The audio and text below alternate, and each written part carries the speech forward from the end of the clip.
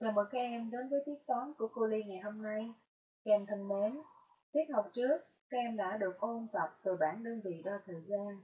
Tiết học hôm nay, cô sẽ hướng dẫn các em phép cộng số đo thời gian. Các em cùng mở sách giáo khoa trang 131 để theo dõi nha. Đầu tiên, cô trò mình cùng đến với ví dụ thứ nhất. Ví dụ thứ nhất như sau. Một ô tô đi từ Hà Nội đến Thanh Hóa hết 3 giờ 15 phút rồi đi tiếp đến Vinh hết 2 giờ 35 phút. Khỏi ô tô đó đi cả quãng đường từ Hà Nội đến Vinh hết bao nhiêu thời gian. Các em cùng quan sát tóm tắt của cô. Ô tô đi từ Hà Nội đến Thanh Hóa. Hết thời gian là 3 giờ 15 phút. Từ Thanh Hóa, ô tô đi tiếp đến Vinh hết 2 giờ 35 phút.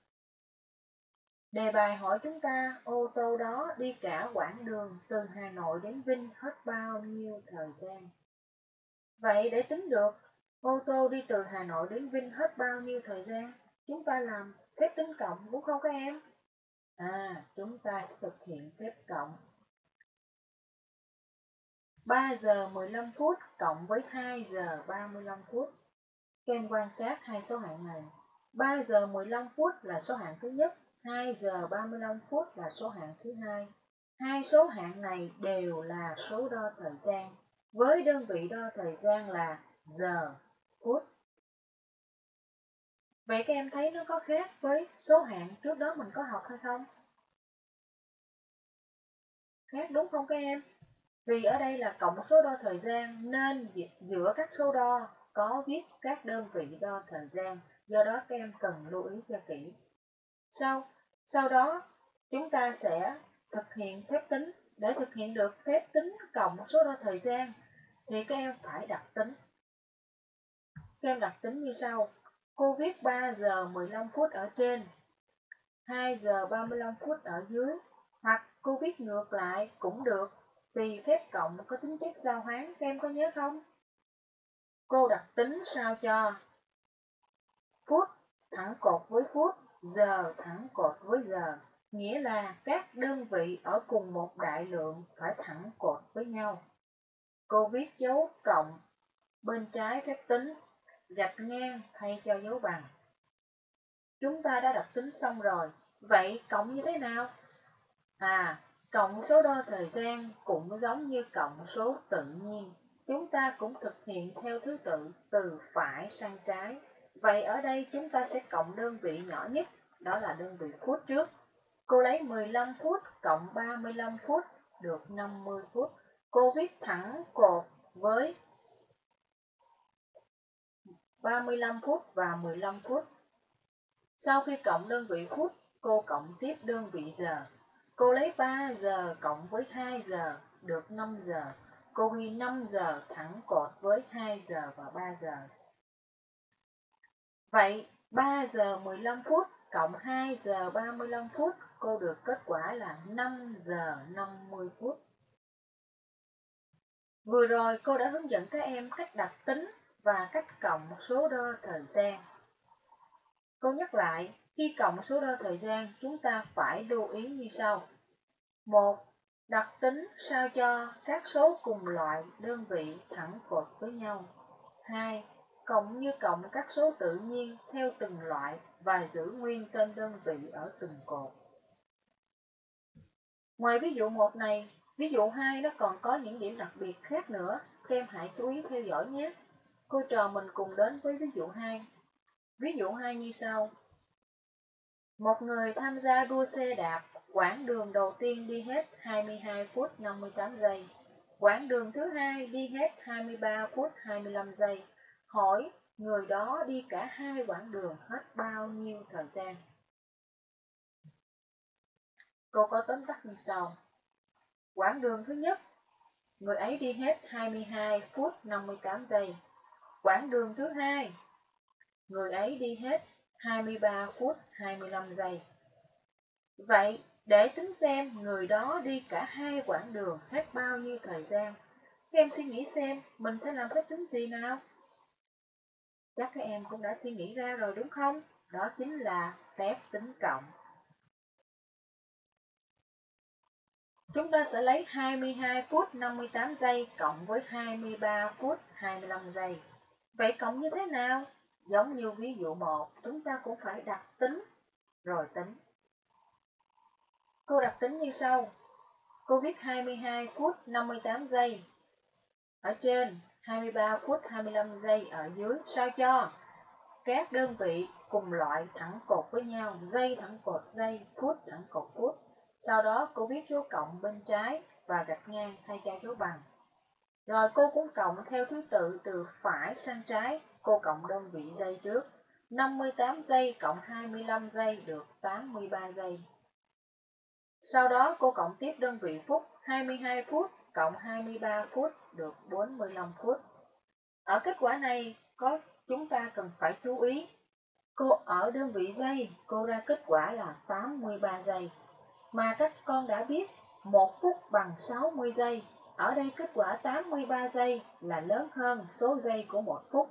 Do đó cô phải đổi ra đơn vị lớn hơn. Các em cùng quan sát tiếp nhé. 83 giây này, cô sẽ đổi ra 1 phút và 23 giây. Cô đỡ như, như thế nào? Các em chú ý nè.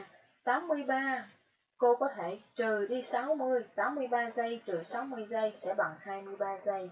Hoặc là cô phân tích 83 giây gồm 60 giây cộng với 23 giây, mà 60 giây bằng 1 phút, nên 83 giây cô đổi ra được là 1 phút 23 giây. Sau đó cô sẽ lấy 1 phút này cô cộng tiếp với 45 phút thì cô được là 46 phút. Còn 23 giây cô sẽ chuyển qua đây. Vậy cô được kết quả là 46 phút 23 giây, 22 phút 58 giây cộng 23 phút 25 giây thì kết quả sẽ bằng 46 phút 23 giây. Các em lưu ý chỗ này. Khi chúng ta đổi ra cái đơn vị lớn hơn thì các em phải có dấu bằng ở phía trước giống như bằng 46 phút 23 giây đây. Các em lưu ý cách trình bày nhé. Vậy thì qua ví dụ 2 này chúng ta cần có một cái lưu ý nhỏ nữa. Đó là nếu kết quả có số đo ở đơn vị nhỏ lớn hơn hoặc bằng một đơn vị lớn hơn liền kề, ta cần đổi sang hàng đơn vị lớn hơn đó. Vậy thì qua hai ví dụ 1 và ví dụ 2, chúng ta sẽ rút ra được cái ghi nhớ cho mình để thực hiện phép cộng số đo thời gian như sau. Ta cộng số đo thời gian theo các bước như sau. 1. Đặt tính sao cho các đơn vị cùng loại thẳng cột với nhau. 2. Cộng như cộng các số tự nhiên theo từng loại đơn vị và giữ nguyên tên đơn vị ở từng cột. 3. Là lưu ý, nếu kết quả có số đo ở đơn vị nhỏ lớn hơn hoặc bằng một đơn vị lớn hơn liền kề, thì ta cần đổi sang đơn vị lớn hơn đó dựa vào bảng đơn vị đo thời gian. Đây là kiến thức mà chúng ta cần nắm chắc của bài học hôm nay về phép cộng một số đo thời gian.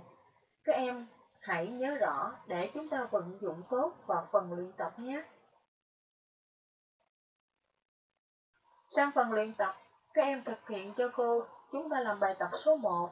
Bài tập 1 có hai câu A và B. Phần câu A chúng ta chỉ làm hai dòng đầu và câu B cũng làm hai dòng đầu. Bài A 7 năm 9 tháng cộng với 5 năm 6 tháng. 3 giờ 5 phút cộng với 6 giờ 32 phút.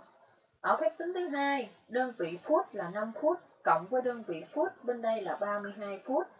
Thì các em phải cẩn thận khi đặt tính để chúng ta làm không bị sai sót nha. Bài B 3 ngày 20 giờ cộng với 4 ngày 15 giờ và 4 phút 13 giây cộng với 5 phút 15 giây. Đây là bài tập mà các em cần phải thực hiện để vận dụng kiến thức chúng ta vừa học. Cô chúc các em làm bài tốt. Các em hãy làm bài đi.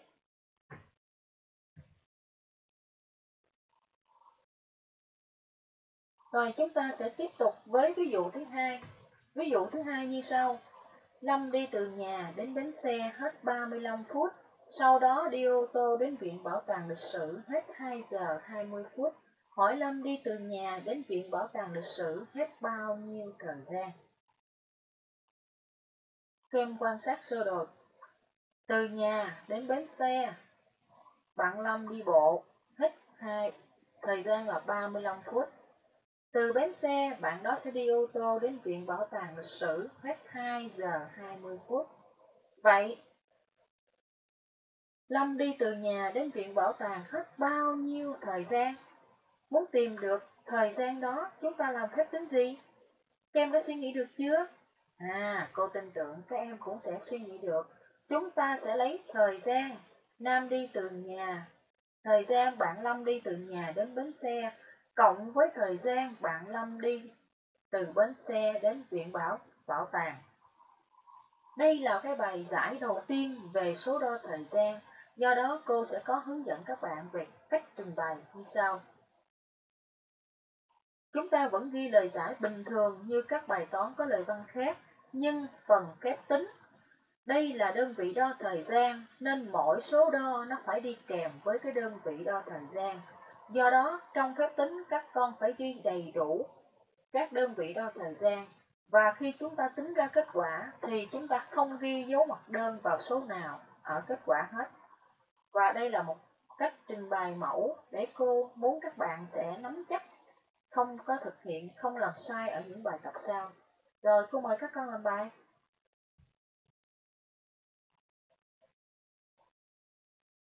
Rồi chắc các con đã làm bài xong rồi. Bây giờ cô muốn nhắc lại.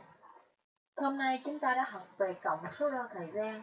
Do đó các con phải nắm chắc cái bước, nắm chắc các bước đặc tính và cộng số đo thời gian để chúng ta thực hiện được tốt, vận dụng vào các bài học sau nhé.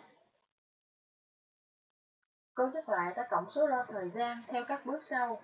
một Đặt tính sao cho các đơn vị cùng loại thẳng cột với nhau. 2. Cộng như cộng các số tự nhiên theo từng loại đơn vị và giữ nguyên tên đơn vị ở từng cột. 3. Nếu kết quả có số đo ở đơn vị nhỏ lớn hơn hoặc bằng một đơn vị lớn hơn liền kề, thì ta cần đổi sang đơn vị lớn hơn đó dựa vào bảng đơn vị đo thời gian. Tiết học của chúng ta đến đây là kết thúc. Đây là phần kiến thức cơ bản các em cần nắm chắc để chúng ta vận dụng vào giải các bài tập sau.